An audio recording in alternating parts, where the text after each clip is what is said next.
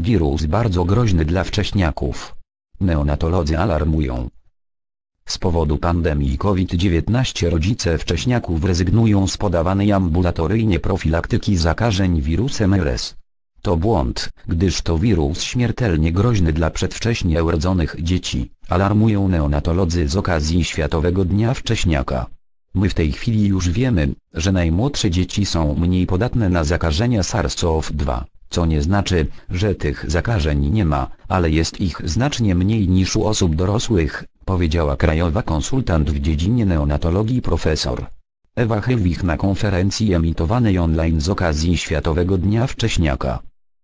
Nie lekceważyć SARS-CoV-2, ale profesor Ryszard Lauterbach, prezes Polskiego Towarzystwa Neonatologicznego, konsultant w dziedzinie neonatologii województwa małopolskiego, przestrzegał, by wirusa SARS-CoV-2 nie lekceważyć.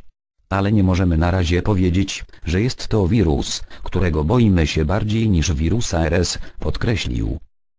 Wirus RS syncytialny wirus oddechowy, jest znany neonatologom od dawna, ponieważ jest groźny szczególnie dla noworodków urodzonych przedwcześnie, które nie mają jeszcze rozwiniętego układu odporności oraz pęcherzyków płucnych.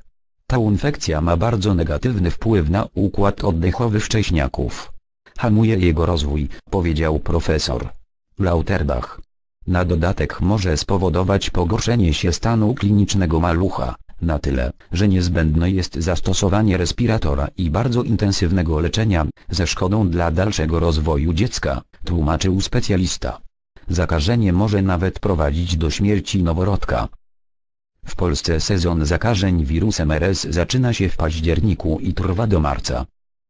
Spustoszenie trudne do naprawienia Spustoszenie, jakie czyni ten wirus w układzie oddechowym wcześniaków, jest trudne do naprawienia.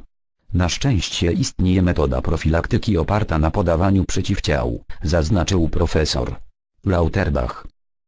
Ekspert przypomniał, że do tej pory wszystkie próby uzyskania szczepionki przeciw wirusowi RS okazały się nieskuteczne.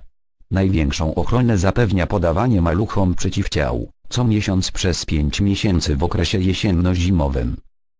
Rezygnują ze strachu przed epidemią. Niesłusznie. Dla wcześniaków urodzonych przed 33 tygodniem ciąży immunoprofilaktyka zakażeń wirusem RS jest w Polsce bezpłatna. Jednak niektórzy rodzice, ze strachu przed zakażeniem koronawirusem, rezygnują z immunoprofilaktyki. Niesłusznie.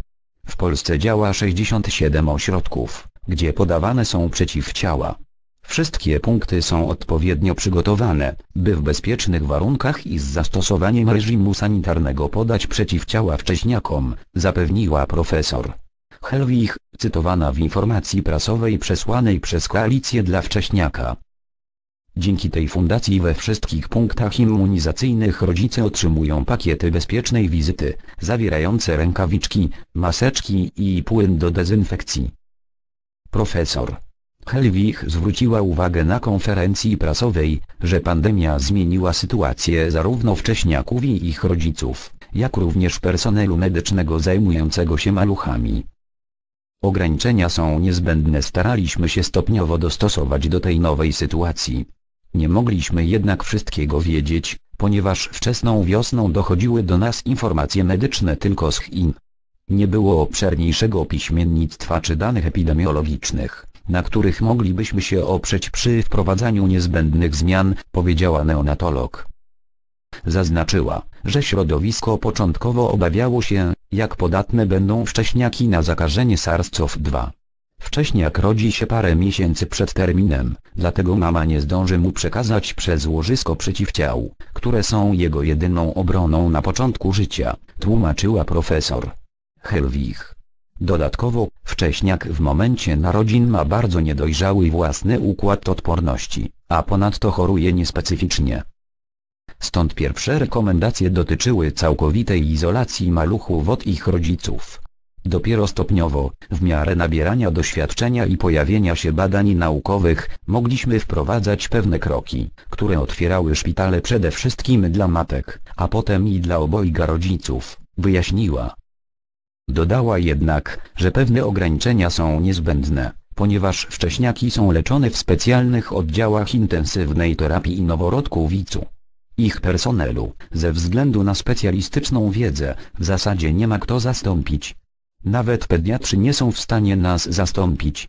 Dlatego zakażenie członków naszego personelu jest tak groźne dla dzieci, ponieważ skutkuje natychmiastową koniecznością odstąpienia od pracy, powiedziała. Ponieważ neonatolodzy zdają sobie sprawę, że izolacja rodziców i wcześniaków źle wpływa na obie strony, odwiedziny zostały wznowione. Ale infrastruktura oddziału WIC-u nie jest na tyle doskonała, by zachować izolację rodziców od siebie i od personelu, więc jest specjalny harmonogram wizyt. Sytuacja jest jednak znacznie lepsza niż na początku, podsumowała profesor Helwig. Światowy Dzień Wcześniaka Światowy Dzień Wcześniaka przypada na 17 listopada. W 2020 rok. Jest w Polsce obchodzony po raz 10. Z tej okazji znany polski grafik Andrzej Pongowski ozdobił symbolicznym muralem ścianę budynku przy ulica Waryńskiego 3, przy metrze Politechnika w Warszawie, poinformowała Koalicja dla Wcześniaków, organizator obchodów Światowego Dnia Wcześniaka. Na muralu widać dłonie obejmujące gałązkę tulipana z ukrytym wewnątrz kielicha kwiatu noworodkiem.